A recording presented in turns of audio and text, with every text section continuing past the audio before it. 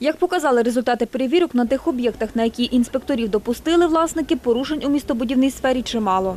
В містах та районах Одеської області було проведено 72 планові перевірки та 552 позапланові перевірки. В рамках позапланових заходів архітектурно-будівельного контролю за перше півріччя 2017 року виявлено 405 порушень містобудівного законодавства, в тому числі фактів самовільного виконання будівельних робіт 143, фактів порушення державних будівельних норм 122.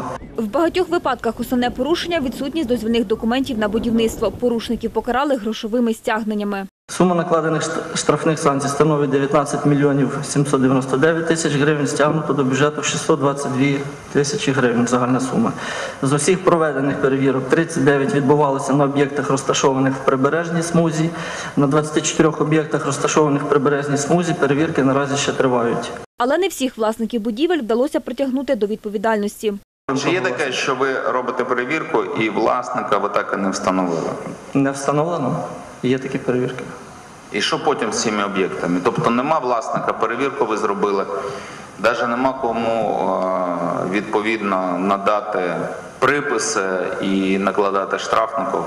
Якщо е, інформації не отримуємо ні з правоохоронних органів, ні з органів місцевої влади, то така перевірка, ну так би мовити, зависає, підвисає. Пишемо службову записку, закриваємо справу, що не можемо провести перевірку, закінчити повноцінно. Є такі випадки, їх не більшість, але часто бувають такі випадки.